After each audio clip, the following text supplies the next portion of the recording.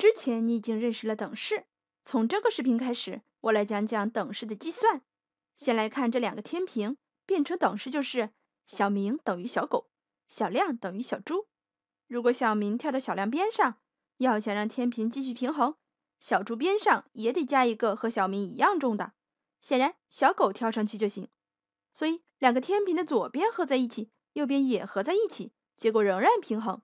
变成等式就是小明加小亮等于小狗加小猪。看来，把两个等式的左边都加在一起，右边也加在一起。结果仍然相等。知道了这一点，你能算出下面的三角和正方分别等于几吗？先看这个等式，有两个图形，不太好求。再看这个等式，也有两个图形，也不好求。单独看没戏，就合起来试试。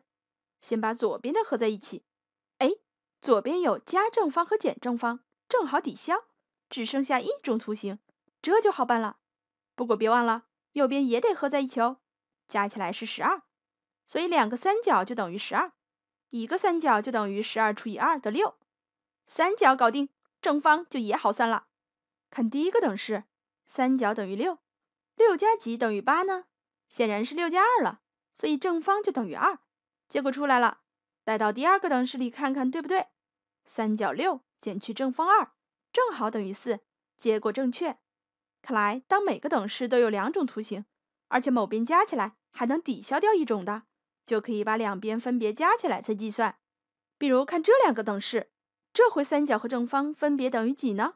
每个等式都有两种图形，并且左边有加俩正方和减俩正方，正好能抵消，就可以把两边分别加起来计算。左边加起来是六个三角，右边加起来是十二，所以六个三角就等于十二。一个三角等于十二除以六得二，三角搞定。接着看正方，看第一个等式。三个三角是三乘二得六，六加几等于八呢？显然是六加二。注意这回是两个正方等于二，所以一个正方是二除以二得一，这样结果就出来了。以上就是等式加法的全部内容。如果每个等式都有两种图形，而且一边加起来还能抵消掉其中一种，就可以把两边分别加起来再计算。